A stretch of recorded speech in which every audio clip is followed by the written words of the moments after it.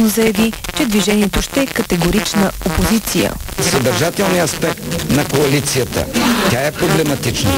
Участието на Патриотичния фронт, точно заради участието на този свобак, точно заради падналите морално-политически маски. Аз на свой ред казвам, не да ни молят да не ги подкрепяме, а обратно, дори на колене да ни молят да ги подкрепяме, няма да получат нашата подкрепа.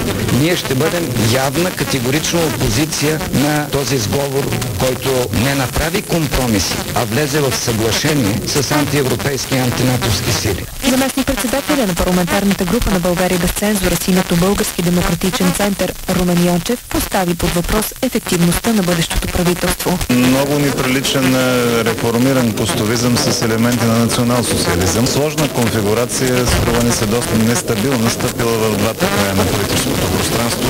Тази конструкция не решава нито един от проблемите на държавата, не дава предпоставки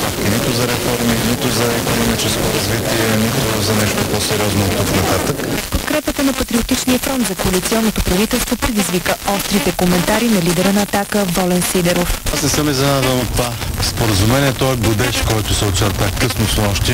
Знаех много добре, че още за изборите 2013 година лидера на НФСБ беше напазаруван. Тогава да бъде патерица на ГЕРБ. И след като вече с сложен политико-финансов маньовър откъснаха